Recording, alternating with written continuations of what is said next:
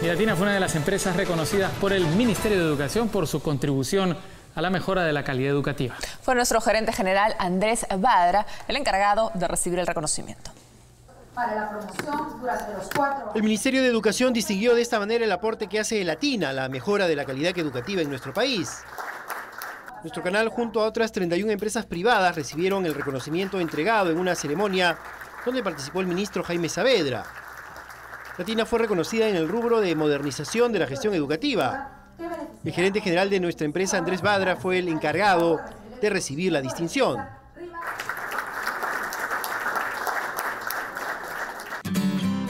El ministro de Educación destacó la importancia que desde el sector privado existe el compromiso de aunar esfuerzos junto al ministerio para mejorar la calidad de la educación.